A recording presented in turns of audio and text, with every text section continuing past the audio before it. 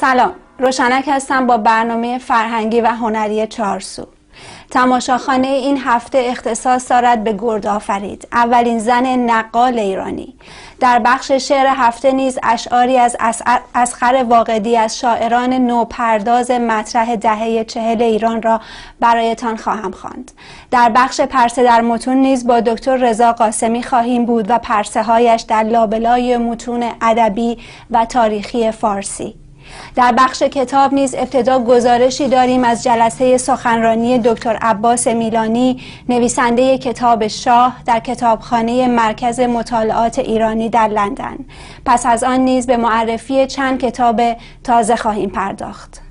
در پایان برنامه در بخش طربخانه نیز شما را به دیدن اجرای قطعی از گروه موسیقی همنوازان حصار دعوت می کنم با ما باشید. نقالی یعنی نمایشی تک نفره که بر اساس داستانهای ملی شاهنامه و داستانهای بومی و به وسیله فردی به نام نقال اجرا می شود.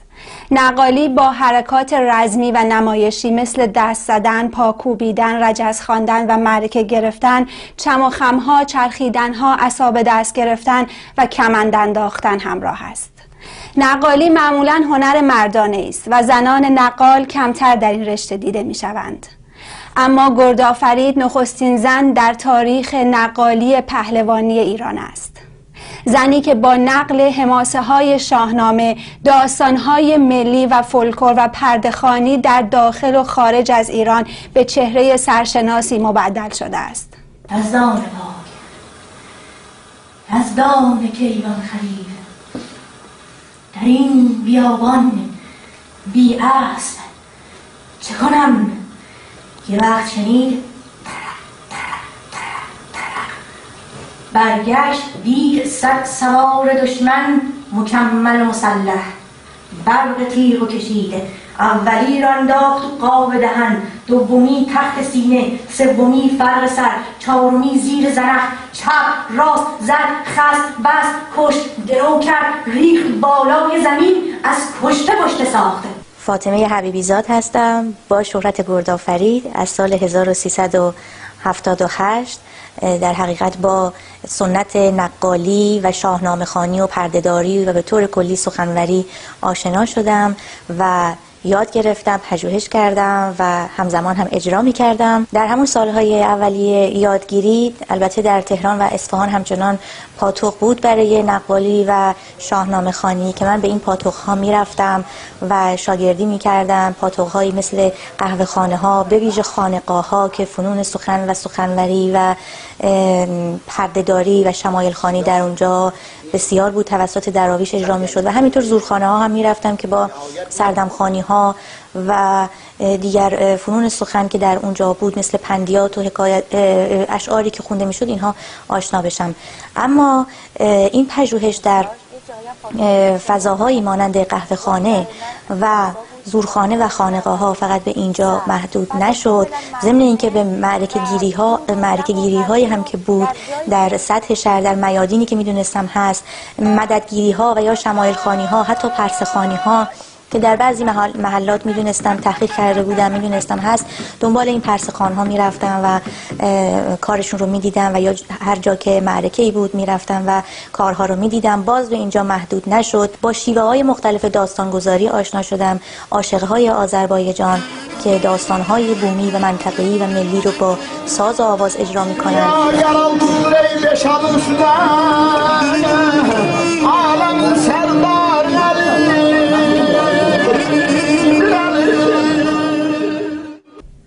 فاطمه حبیبیزاد با نام هنری گردآفرید متولد اهواز و فارغ و تحصیل رشته کارشناسی, کارشناسی موزه از دانشکده میراث فرهنگی است.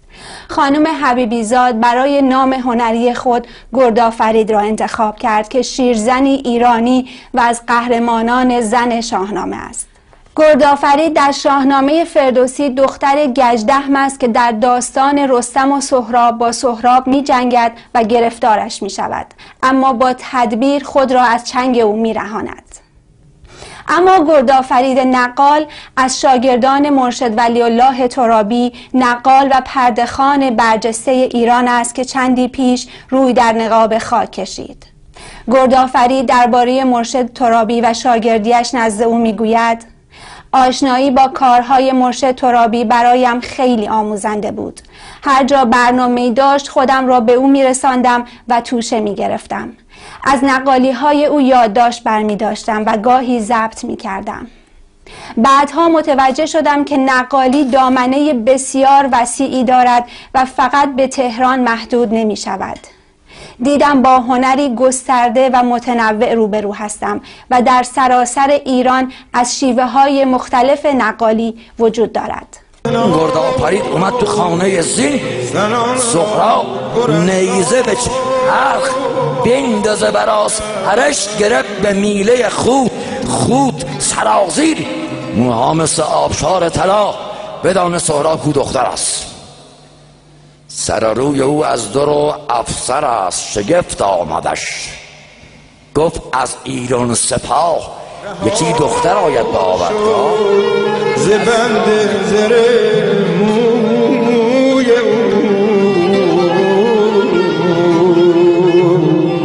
درخشان شو خورشید شو روی ادبیات حماسی ایران به ویژه داستانهای رزمی شاهنامه مانند هفتخان رستم و جنگهای ایران و توران که جنبه غنی نمایشی و درون مایه پرتحرکی دارند گنجینه و پشتوانه ارزشمند برای هنر نقالی به شمار می روند. گردآفری در مورد شاهنامه می گوید شاهنامه البته یک منبع بیکران است اما در بسیاری از شهرها و روستاها هنرمندان مردمی قصه های زاد و بوم خود را با ساز اجرا می کنند. در کردستان و سیستان و آذربایجان به هنر نقالی تنوعی بینظیر دادند.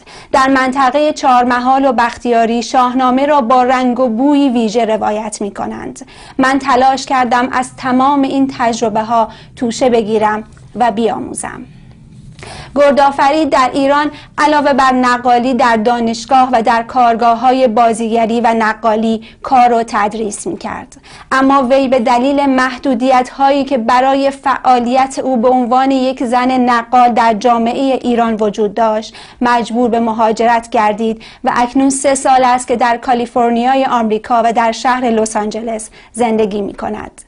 او این روزها پرکارتر از گذشته از کشوری به کشوری دیگر سفر می کند تا هنر نقالی این کهنترین شکل روایت افسانه های شاهنامه و پهلوانان ایران زمین را در میان ایرانیان مهاجر مند به شاهنامه و هنر نقالی رواج دهد. را به ذکر در کشید. شست از این کمان زد مرد و مرکب. قردید بلند شد. اسب من قهقه رستم بلند شد. اصلا مرسوم نبود که زن بیاد و شاگردی بکنه در در محضر این مرشدها و دراویش و به هر حال من باید احترام میذاشتم به سنت های اینها و اصول اینها. اینها بسیار مرید پرور و شاگرد پروری می‌کنن. یعنی تو باید سالها شاگردی بکنی به این سادگی نیست که فوت آخر رو بهت بدن. و خیلی مشکلات عجیب غریبی داره که بتونی با استاد نظرش رو جلب بکنی تا بتونه همه اون فنون سخن و راز و رموز کلام رو که می‌دونه و در چنته داره به تو تحویل بده. این است که سالها باید که تا یک سنگ خارا آفتاب لعل گردد در بدخشان یا عقیقا در یمن. چند سالی طول کشید که خود مرشدان و دراویش من رو به عنوان شاگرد معرفی بکنن. حتی یادم میاد برای اولین بار که بعد از مدت ها مرشد ترابی در حقیقت منو پذیرفت به که باهاش برم به این طرف و اون طرف در شاب دولزین در یک قهوه خانه ما نشسته بودی و من هم گوشه نشسته بودم. یک پهلوان کشتگیر قدیمی از مرشد پرسید که این کیه؟ گفت که منومنی کرد مرشد ترابی گفت شاگردمه. گفت شاگردته. شاگرد مگه زنم میشه؟ و این مکافات را هم من داشتم از یک طرف هم از یک سو خود مرشد و مرشدان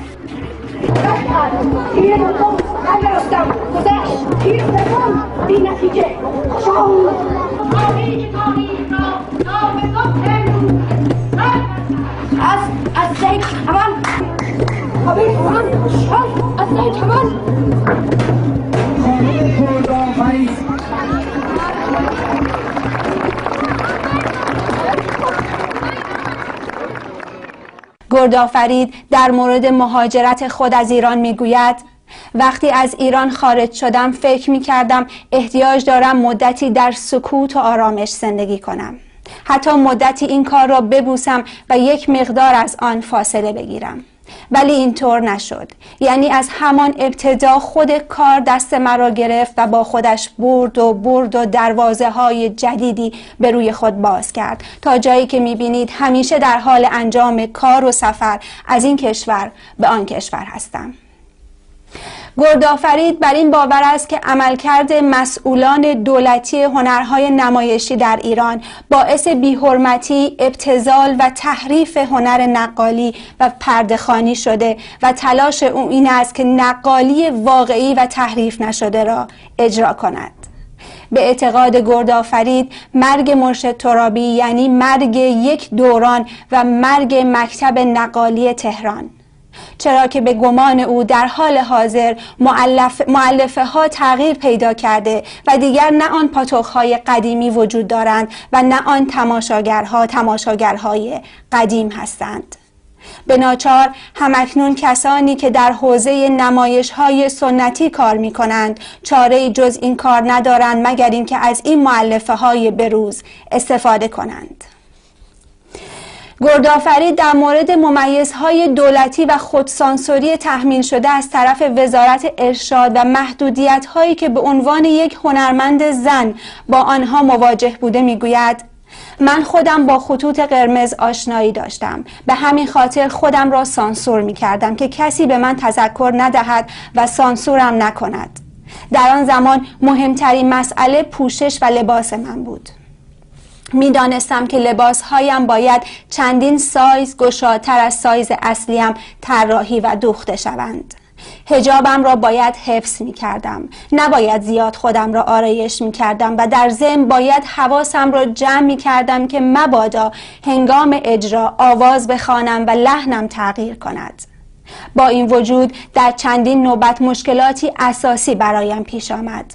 کار من به اداره اماکن و حراست وزارت فرهنگ و ارشاد اسلامی کشیده شد.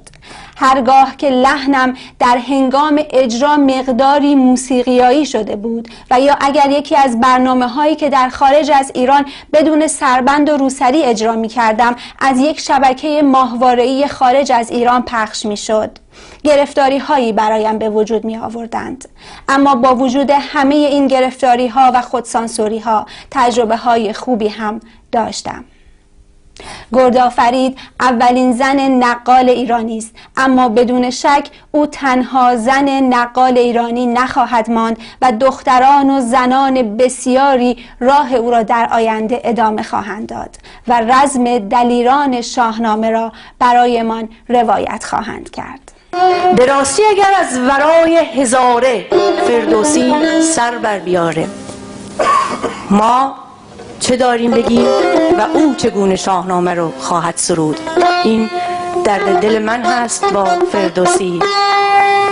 حالا ای بزرگ خردمند و داد درودم ز جان بر روان تو باد. نهان گشت آیین فرزانگان. پراکنده شد نام دیوانگان. هنر خار شد جادوی ارجمند. نهان راستی آشکارا گزند. شده بربدی دست دیوان دراز. زنیکی نبودی سخن. جز پراز نه جشن و نه رامش نه بخشش نه کام. به کوشش به هر گونه سازند دام. نه از مهرگان نام و نی از صده نه دستی به شادی به دستی زده. نه جام شرابی نه پیمانه ای نه بر عاشقان راه میخانه ای نه یادی ز رستم نه از اشک بوس. فسوسا فسوسا فسوسا فسوس. به یزدان که گر ما خرد داشتیم کجا این سرانجام بد داشتیم؟ همه کارها صحنه سازی بود. همه کارها صحنه سازی بود. سخنها به کردار بازی بود. همه سر به سر مسلحت بین شدند.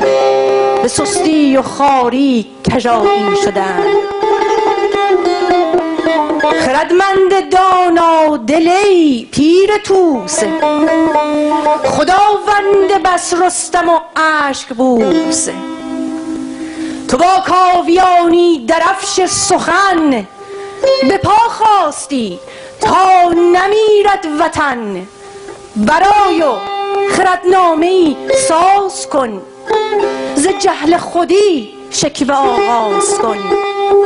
بیا و سلاد سرود امید چه شهنامه ای تازه آید پدید. برای و ببین و دوباره بگو. توفو بر تو ای چرخ گردون. توفو. توفو بر تو ای چرخ گردون. توفو. اسخر واقدی متولد 1319 از شاعران مطرح و نوپرداز دهه چهل ایران است که در قالب کهن و بیشتر غزل نیز شعر سروده است. واقعی شاعر بدبینی است و اغلب اشعار او آکنده از نومیدی است او از تاثیرات اجتماعی زمانش برکنار نبوده و همیشه از مشاهدات پیرامونیش الهام گرفته است واقعی زمان حال را با ترحم و آینده را با امیدی کمایه توصیف می کند. او در اشعارش با زبانی سمبولیک و استعاری فاقد پس زمینه تاریخی و اجتماعی دقیق است. از واقعی چند مجموعه شعر منتشر شده است. از جمله مجموعه شعری به نام آواز عاشقان قدیمی که شامل 25 شعر آزاد و 9 غزل است که در فاصله سالهای 1341 تا 1351 سروده شدند واقعی از جمله شاعرانی بود که در سال 1356 در شبهای شعر انستیتیو گوته تهران شرکت داشت و تعدادی از شعرهای خود را در آنجا خواند. علل بدبینی واقعی را باید در شرایط اجتماعی و سیاسی دهه چهل ایران جستجو کرد. دورانی که عمدتا با سرکوب آزادی ها و جنبش های مردمی و تشدید اختناق و سانسور و رشد ابتزال و بیدانشی همراه بوده است. به علاوه برخی ناکامی ها و شکست های, شکست های شخصی شاعر نیز در شعرهای واقعی منعکس شده است. وقتی تو را که گرمی ما بودی آن دست پرشقاوت و خونالود دزدانه در سیاهی جنگل رو بود و رفت. انسان شکست خاطر و تنها ماند. بعد از تو در ترانه دهخانان نام تو یادگار شگفتی هاست. بعد از تو بادها و درختان و صخره ها آوازهای گنگ تو را در فضای شب پرواز می دهند و رودهای پیر و کفالود در پای کوها و اعماق دره ها دیوان وار نام بلندت را آواز می دهند. شعری بود از اسقر واقعی شاعر نوپرداز مقیم آمریکا. شعر دیگری نیز از مجموعه اشعار اسخر واقعی انتخاب کردم که برایتان می‌خوانم. شعریس عاشقانه با نام به ما اجازه ندادند به ما اجازه ندادند که شعر عاشقانه بگوییم. به ما اجازه ندادند مهربان باشیم. میان میکده با گریه های پنهانی شب مکررمان را به روز آوردیم. و در پناه درختان و در پناه سکوت قدم زدیم در این جاده های طولانی.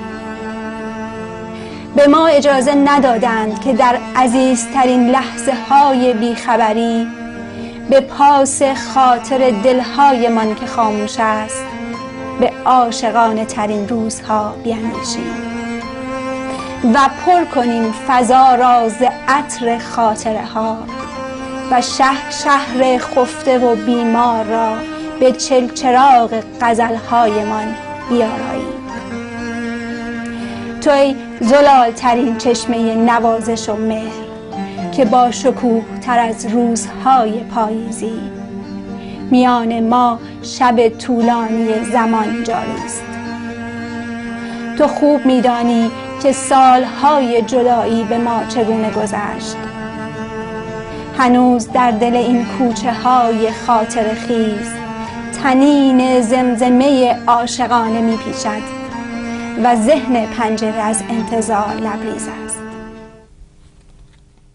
شعری بود با عنوان به ما اجازه ندادن از سروده های نوع اسخر واقدی این غزل زیبا از سروده های اسخر واقدی را هم به خاطر داشته باشید.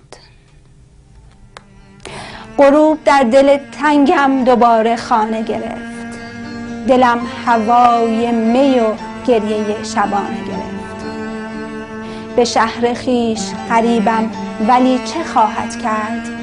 کبوتری که به ویران آشیانه گرفت. از آن شبی که تو از شهر ما سفر کردی به باغهای خزان دیده زاق لانه گرفت. کنون حکایت تکرار و رنگ بیزاری است. دلم از این همه آواز ابلهانه گرفت. به جز سیاهی و غم روزنی نمی بینم. ستاره گم شد و شب رنگ جاودانه گرفت.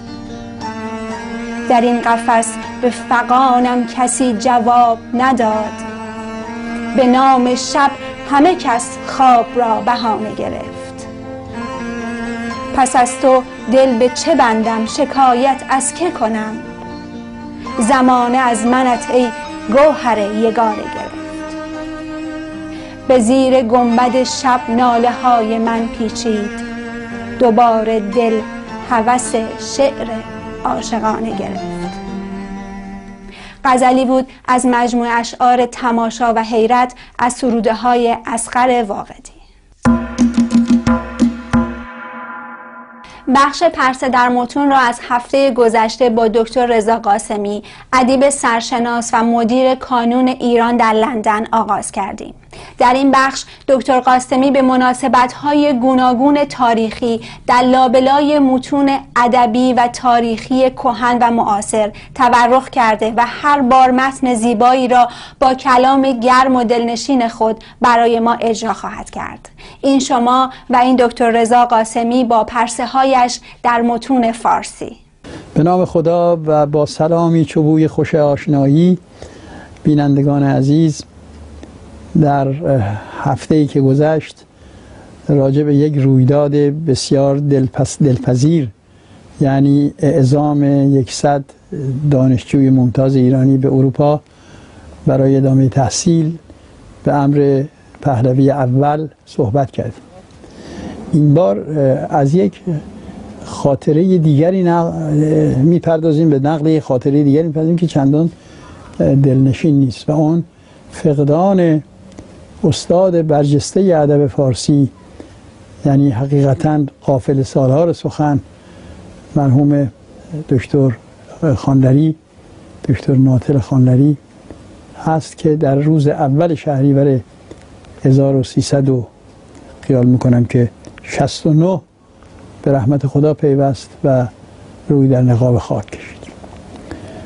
جراید اون روز در مورد ایشان نوشتند که دکتر پرویز ناطل خاندری استاد ممتاز دانشگاه پژوهشگر و ادیب و زبانشناس نامآور و چهره چهره برجسته سیاسی ایران در هفتاد و هفت سالگی پس از یک دوره طولانی بیماری چشم از جهان فرو بست. دکتر خانلری در سالهای اخیر در سالهای اخیر عمر از شکستگی لگن خاصره رنج می برد و تقریبا فلج شده بود. رژیم جمهوری اسلامی پس از دستیابی به قدرت او را به زندان افکند. تحمل چند ماه زندان در شرایط بسیار دشوار روح و جسم استاد را فرسوده ساخت.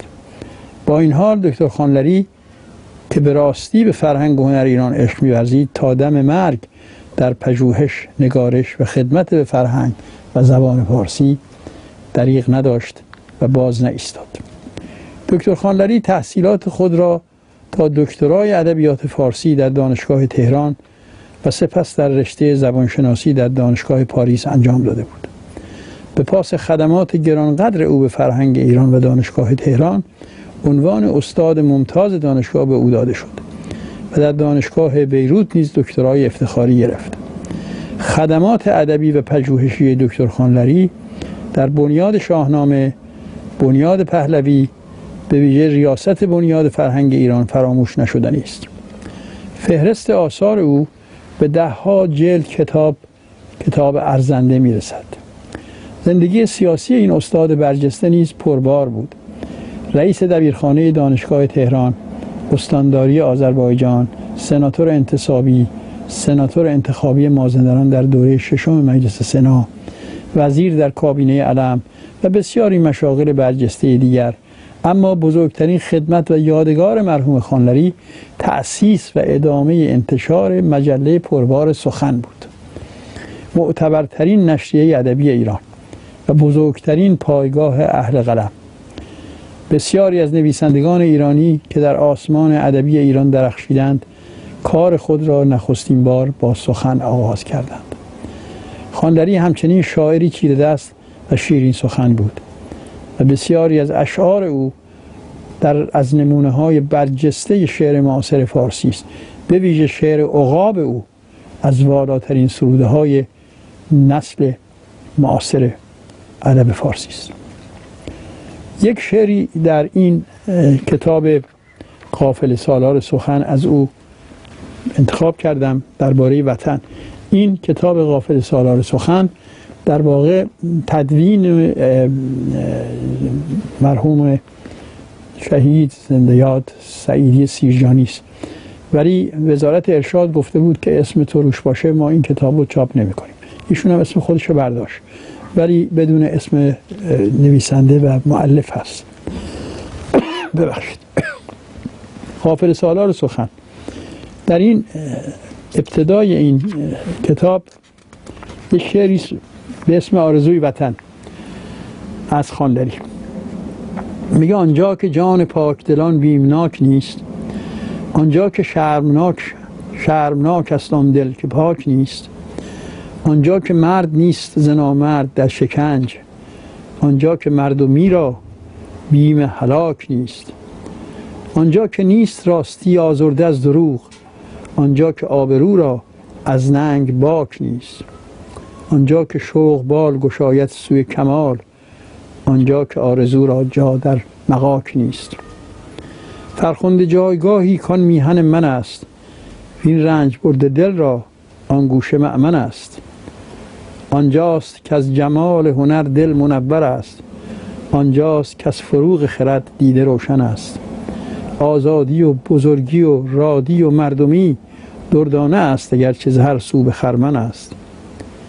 تا بودم من از وطن آواره بودم. گاهی گذر به خوابم از آن نغز گلشن است. غربت فسرد جان و بفرسود تن مرا. ای بال آرزو برسان تا وطن مرا. این مال دوره است که ایشون در اروپا میخونده درس میخونده و غم دوری از وطن ایشون رو میآزرده. خالری هنگامی که در بستر مرگ بود و ازش پرسیدند که شما چند سال دارید؟ گفت 2500 سال.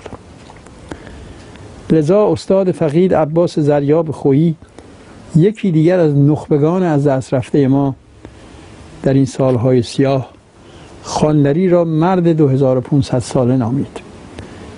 و در توجیه این نامگذاری می گفت خانلری وقتی سخن می گفت یا وقتی می نوشت زبان فارسی را با قدمت و شکوه چندین قرن در دل و جان جای می‌داد و بر زبان و قلم جاری می ساخت در 23 سالگرد خاموشی استاد فقید پرویز ناطل خانلری یاد او را گرامی می‌داریم. روانش به جاودانگی شاد باش شاد باد. با بهرهگیری از ماهنامه بخارا شماره 23 چاپ تهران و کتاب قافل سالار سخن. در هفته های گذشته به معرفی کتاب شاه نوشته دکتر عباس میلانی در این برنامه پرداختیم. حال از شما دعوت می کنم به گزارشی از جلسه سخنرانی و پرسش و پاسخ دکتر میلانی در کتابخانه مرکز مطالعات ایرانی در لندن توجه فرمایید. آقای دکتر عباس ملکزاده میلانی اگر اشتباه نکنم. متولد 1328 هستند مورخ ایرانشناس و نویسنده ایرانی و ساکن آمریکا. دکتر میلانی مدیر برنامه مطالعات ایرانی در دانشگاه استنفورد و استاد فراخوانده دانشکده علوم سیاسی اون دانشگاه هستند. همچنین همکار و یکی از سرپرستان پروژه دموکراسی ایران در مؤسسه هوبر هست. مفهوم شاه ولی انقلاب در واقع خودش قابل ایراده. برای اینکه فرض این عنوان این هست که یک پدیده واحدی در یک لحظه واحدی اتفاق افتاده به نام انقلاب مثل یک درخت تنومندی که ما حالا داریم دنبال ریشه هاش میگردیم. آیا باید ریشه های 1978 رو گشت؟ 1965 رو گشت؟ 1975 رو گشت؟ 1963 رو گشت 1953 رو گشت 1949 رو گشت. هر کدوم از اینا رو می‌تونم خدمتتون ارز کنم که بالقوه یکی از ریشه های انقلاب. پس صحبت کردن در مورد شاه و ریشه های انقلاب فرضش بر این است که یک پدیده اجتناب ناپذیر واحدی به نام انقلاب در ایران بود که می‌شد هم میشه هم ریشه هاش رو به طور واحدی پیدا کرد و هم اجتناب ناپذیر بود. گمان من این است که انقلاب ایران کاملا اجتناب پذیر بود. به هیچ وجه اجتناب ناپذیر نبود. تغییر در ایران اجتناب ناپذیر بود. ولی انقلاب اجتناب ناپذیر نبود. انقلاب در نتیجه تصمیماتی بود که همه ما در این اتاق شاه در اون ور دنیا طرفدارانش آمریکا انگلیس اپوزیسیون ایران آیت الله خمینی همه اینها با هم گرفتیم. تقلیلش به هر کدوم از اینها دنیای خیلی پیچیده رو ساده می‌کنه. خیلی دوست دارم بگن همه کاسه کوزه رو باید سر فردوست شکست. اگر فردوست خیانت نکرده بود شاه الان سر کار به نظر من اولا ابعاد ماجرای فردوست خیلی پیچیده تر از اونی که خیلی فکر می‌کنن. و به هیچ وجه برای من حداقل روشن نیست که اگر فردوست نبود این کار نمی‌شود دی میگن در گوادلوپ تصمیم گرفته شد که شاه باید بره. وقتی در گوادلوپ جلسه تشکیل شد شاه نصف اسبابش از ایران فرستاده بود. همه تقریبا گمان می‌کنن که در گوادلوپ کارتر اومد تصمیم گرفت که شاه را از ایران بیرون کنه. اصلا گوادلوپ رو کارتر تشکیل نداد. گوادلوپ رو جسکالدستان تشکیل داد. موضوع بحث من هزار صفحه سند در مورد گوادلوپ دارم. تقریبا تمام اسنادی که طبق بندیش الان آزاد شده من سعی کردم اونها رو بخونم. و به زرس قاطع بهتون میگم اون تصور رایج در مورد گوادلوپ با واقعیت سازگاری نداره. دولت آمریکا و دولت انگلیس دو ماه قبل از گوادلوپ به این نتیجه رسیدن که شاه دیگه میل و توان موندن نداره. انگلیس در اکتبر به این نتیجه می‌رسه. نامه وزیر انگلستان نخست وزیر انگلستان رو من نقل کردم در کتاب. اواخر اکتبر که میگه شاه دیگه در ایران نمی‌تونه بمونه و ما باید فکر یک جانشین باشیم. عنوان انگلیسیش reinsure و وقتی که رفتن reinsure کردن وقتی رفتن دنبال اپوزیسیون گشتن کی رو پیدا کردن؟ آیت الله خمینی رو. و اینکه آیت الله خمینی رو پیدا کردن تا حدی نتیجه بی اطلاعی سفیر وقت آمریکا در ایران آقای سالیوان از تاریخ تشیع بود. ولی تا حد زیادی هم نتیجه القاعاتی بود که به او و به سفارت آمریکا و به مقامات آمریکا در آمریکا طرفداران دکتر مصدق طرفداران جبهه ملی در مورد آیت الله خمینی می‌کردن. یعنی تقلیل هر کدوم از این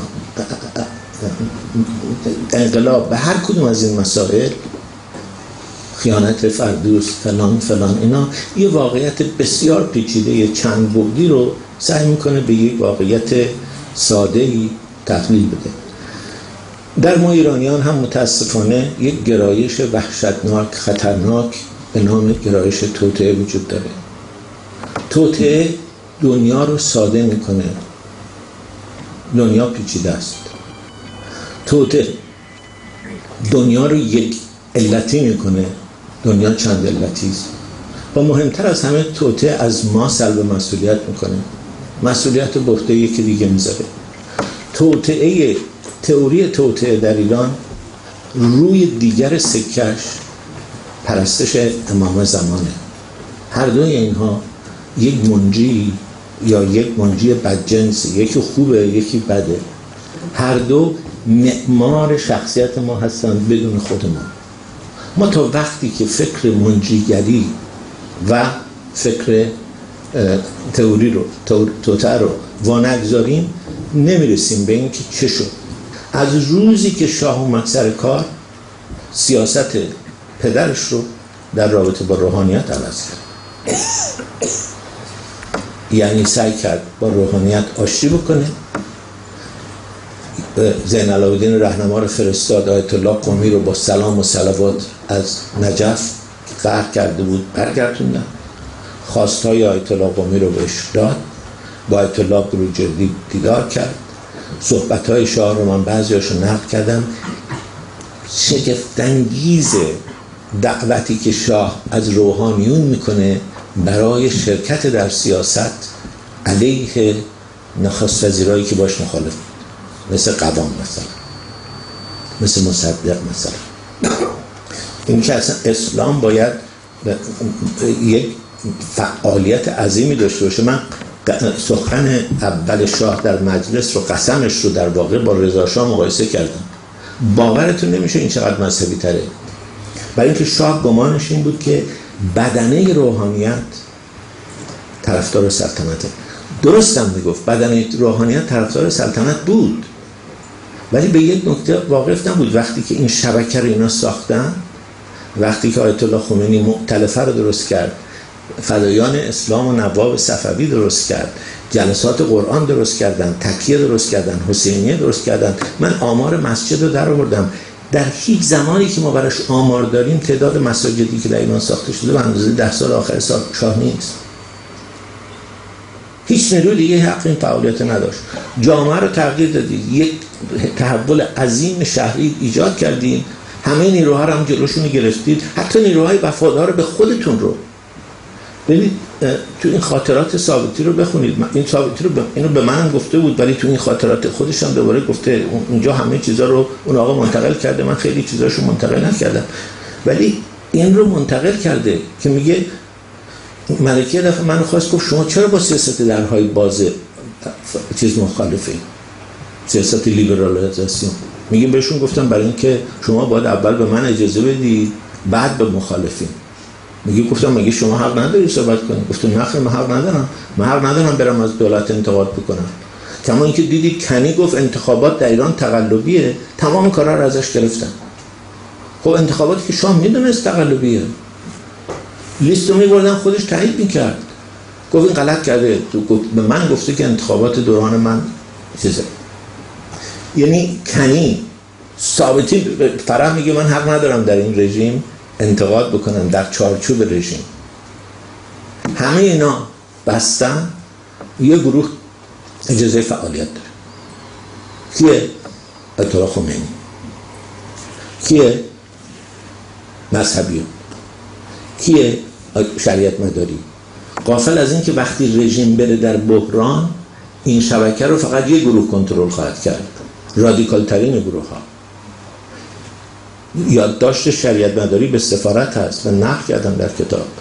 پیغامش به شاه هست. میگه من دلم می‌خواد از شریف ما دفاع بکنم ولی جرأت نمی‌کنم. تمام این شبکه مذهبی رو خمینی گرفته.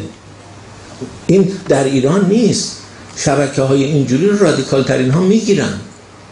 و اگر شما به گروه های دیگه اجازه ندید خب این اتفاق میفته. یعنی یه تغییر ساختاریه. و یه تحول سیاسی به اصطلاح سیاستی است که باشه در مقابل سیاست اپوزیسیون. اپوزیسیون با رژیم قهر کرده بود. موضع اپوزیسیون بود که این رژیم هیچ کار خوبی نمی‌تونه انجام بده. حتی وقتی کار خوبم می‌کرد حاضر نبودن ازش دفاع کنه بخش معرفی کتاب این هفته را با معرفی کتابی شروع می کنم از انتشارات باران در سوئد. تکوین سرمایه‌داری و تجدد در ایران نوشته محمد رضا فشاهی. محمد رضا فشاهی نویسنده و پژوهشگر تاریخ مقیم فرانسه و استاد فلسفه دانشگاه پاریس هشت است. فشاهی پژوهش های زیادی در زمینه تاریخ و علوم انسانی در ایران انجام داده و تعلیفات بسیاری در این زمینه دارد که از میان آنها باید به تحولات فکری و اجتماعی در ایران سیر تفکر در قرون وسطا واپسین جنبش قرون وسطایی ارسطوی بغداد از عقل یونانی به وحی قرآنی از شهریاری آریایی به حکومت الهی سامی و اندیشیدن فلسفی و اندیشیدن الهی عرفانی اشاره کرد. کتاب تکوین سرمایهداری و تجدد در ایران تازه ترین تعلیف این نویسنده و محقق است که بر مبنای جامعه شناسی تاریخی و اقتصادی تحریر شده و بخشی از مطالعات نویسنده درباره پایان روش تولید زمینداری و تولد و رشد مناسبات سرمایهداری در ایران در فاصله سالهای 1796 تا 1977 است. بخش نخست این مطالعات در سال 1977 با عنوان آخرین جنبش قرون وسطایی در ایران منتشر شد و بخش دوم آن همین کتاب است که نشر باران در سوئد آن را منتشر کرده است. به گفته نویسنده بخش سوم و پایانی آن نیز با عنوان رشد سرمایهداری در ایران از سال 1905 تا 1977 به زودی منتشر خواهد شد. محمد رضا فشاهی در بخش نخست این کتاب یعنی آخرین جنبش قرون وسطایی به بررسی جنبش های فلسفی الهی و اجتماعی ایران در نیمه نخست قرن 19 هم پرداخته بود و در این کتاب به تحلیل انحطاط و متلاشی شدن دولت آسیایی و روش زمینداری آسیایی و تولد مناسبات نوین سرمایهداری در ایران پرداخته است. ژیل دلوز ناموزی در فلسفه نام کتابی است نوشته مایکل هارت که با ترجمه رضا نجفزاده از سوی نشر نی در تهران منتشر شده است.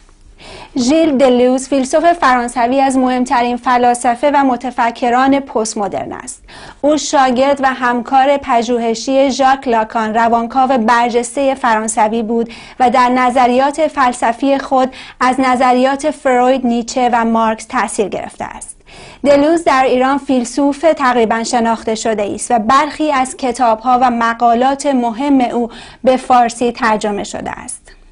در این کتاب نویسنده در سه فصل تکامل اندیشه ژیل دلوز را بررسی کرده و دیدگاه های فلسفی او را در مورد اخلاق برکسون، نیچه و اسپینوزا مطرح می کند. کتاب نوآموزی در فلسفه مایکل هارت با شمارگان هزار نسخه در 248 صفحه به قیمت 86 هزار ریال از سوی نشر نی منتشر شده است.